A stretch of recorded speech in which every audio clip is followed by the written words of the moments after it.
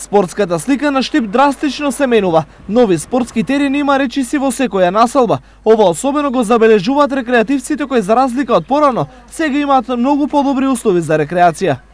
Сметам дека има доволно спортски сали за, за, за младите да спортуваат.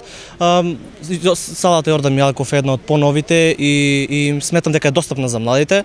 Се направија неколку терени за тенис, мислам дека во населбата Баби, па сметам дека е добро за Штип како град со околу 60.000 жители, дека има доволно места за, за спорт и рекреација. Ваквата состојба во Штип е резултат на заложбите на општината и државата, рекоа на прес младите од ВМРО. Со нивна подршка Штип во рок од две години доби две мултифункционални игралишта во населбите Сењак и Мазги, вредни над 220.000 евра. Исто така за прв пат конструирани се две тениски игралишта, а се градат уште две. Неколку училишни спортски сали исто така се обновени, а поставени и камен темелник на нова спортска сала во основното општинско училиште Славико Арсов во населбата Баби. Конструиран е спортско-рекреативниот комплекс Автокоманда во населба Сењак. Населбата Дузлак доби уреден парк во кој се конструирани мал фудбалски терен, кошаркарско игралиште, а во 2015 година дополнително се конструирани две одбојкарски игралишта.